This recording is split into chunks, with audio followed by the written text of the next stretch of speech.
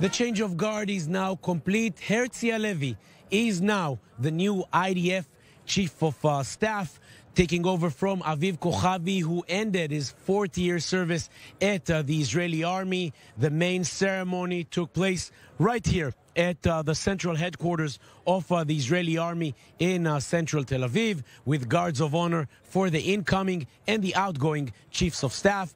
But it was a day full of uh, ceremonies. It began uh, this morning in uh, Jerusalem at the Prime Minister's office, where Prime Minister Benjamin Netanyahu had some very warm words for the incoming Chief of Staff. Let's listen.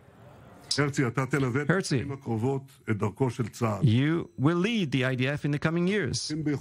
We trust your abilities. We wish you success. And I will say to you what Moshe Dayan said to Meir Har-Zion, the ranks on your shoulders, they are not uh, decoration, but an operational ranks. They are not for beauty, they are a symbol. Good luck to you. Chief of Staff Herzi Halevi, the 23rd Chief of Staff of the IDF. Thank you very much.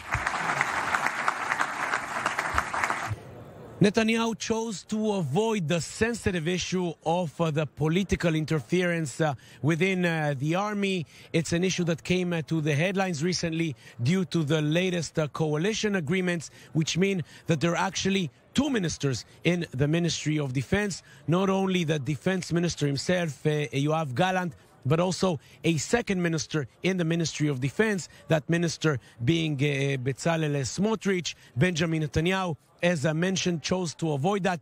But Gallant himself and Herzi Halevi both hinted uh, to the issue. Halevi saying that politics will stay out of the army, and Gallant saying that uh, uh, the army has all the backing needed from him, the Minister of Defense. Let's listen to their words.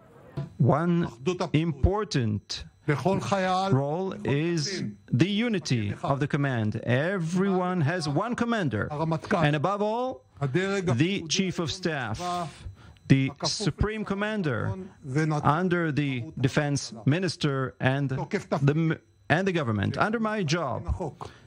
And as the law specifies, I will make sure that the chief of staff, Herzi Halevi, will be able to fulfill his responsibility and that external pressures will be stopped in my office and will not reach the gates of the IDF.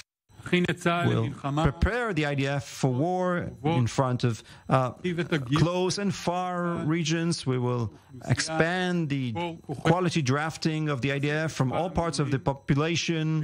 We'll strengthen the reserves and will maintain the IDF as one with values and professionalism that has no other considerations but security.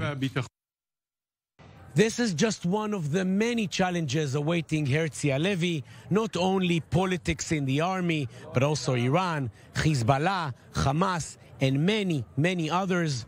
All of those are now the concerns of the new IDF Chief of Staff, Herzi Halevi. Jonathan Regev, I-24 News.